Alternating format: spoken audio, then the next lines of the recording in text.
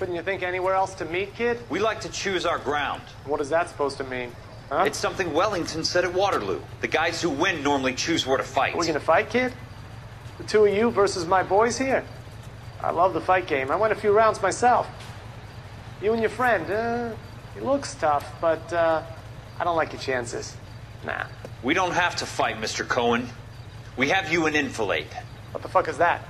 Some kind of steak? It means my men are in cover, but that they can still shoot you.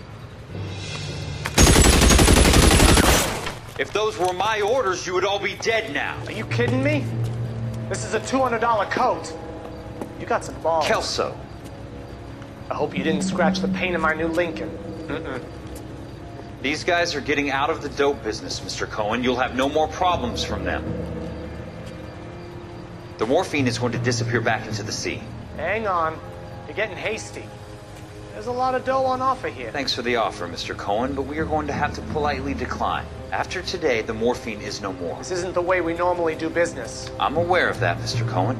Call me Mickey. Are you aware of the risk? Huh? I'm giving it to you straight, Mr. Cohen. There will be no more morphine. We made a mistake and would like to back out gracefully. If you come after us, we will be forced to come after you. You've been polite up till now. So don't stop making threats. I don't make threats, Mr. Cohen. I'd like to thank you for your time. Is that guy your idea of muscle, kid? There's something you should know about Jack, Mr. Cohen. He killed six Japs hand to hand with just a bayonet and a Ka-Bar knife.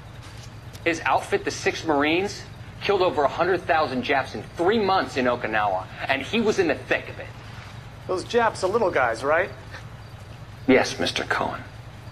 About your size.